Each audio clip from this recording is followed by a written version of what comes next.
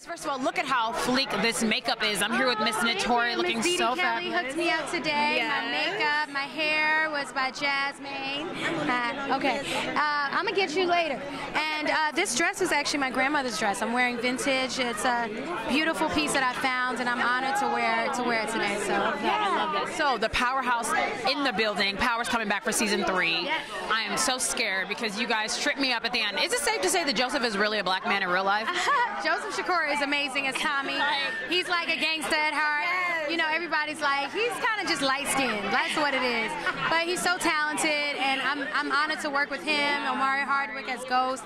We have a, a great cast and great writers, so we're excited for this season. I think y'all are going to be even more shocked by season three. Is that possible though? Because you I left me on the edge of my seat. no, I know. Watch when you see season three, you might pass out. Some people might have high blood pressure. I can't. Okay, so no chicken wings during the episode. Got it. Okay. First of all, your character. What scares you the most about your character? Ooh. What scares me the most about how Tasha is, you know, although she's loyal, when she feels betrayed, she can go very dark.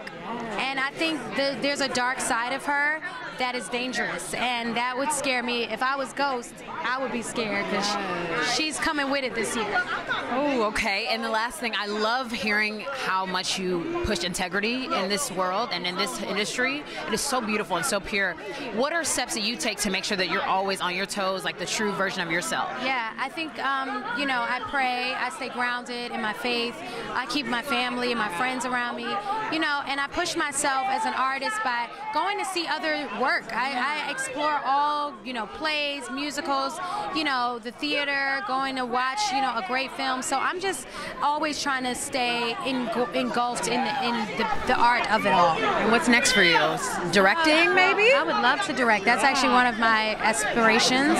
Um, right now, Shooting Power is taking up a lot of my time. So season three comes out this summer, and uh, you know, this summer I can't give a date yet, but it's going to be amazing. So I'm, I'm excited. Congrats on your nomination. You are in the pool of wonderful women as you are, and I'm so proud of you. Congrats. It's an honor. Thank you so much. We need you. You Thank too. you. You look-